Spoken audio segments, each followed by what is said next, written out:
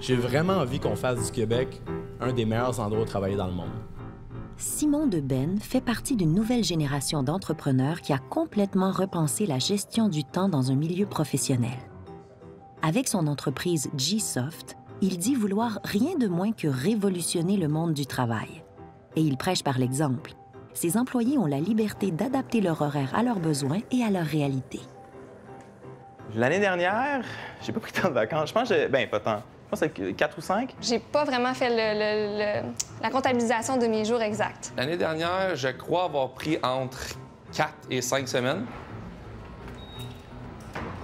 On a compris à quel point l'être humain est essentiel au succès d'une organisation, puis c'est encore plus vrai aujourd'hui.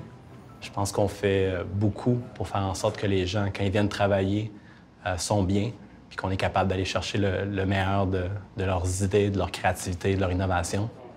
On a été extrêmement inspiré d'une entreprise qui s'appelle Netflix. Et Netflix ont une, une politique de vacances illimitée. En fait, ils n'ont pas de politique de vacances.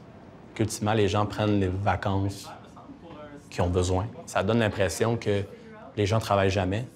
Ça donne l'impression que les gens partent euh, huit mois en vacances par année, alors que c'est pas le cas du tout. Je peux te, parler de l'agenda qu'on qu'on avait élaboré?